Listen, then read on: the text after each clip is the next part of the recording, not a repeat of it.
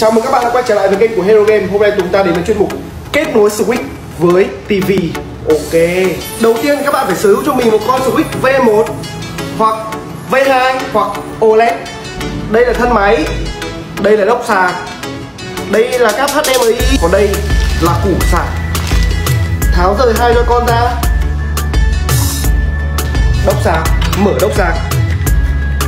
Cắm cáp sạc vào đây. Cắm HDMI vào đây.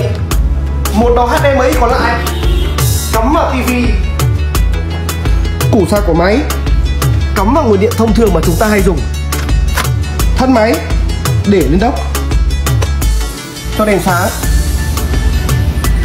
Chỉ còn lại bước cuối cùng đơn giản nhất. Bật tivi lên và chiến ghê ngay ngồi.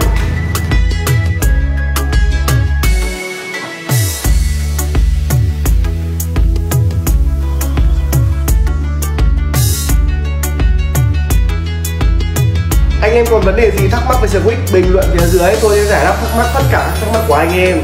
Thế nhá. Hello em, giá cực em.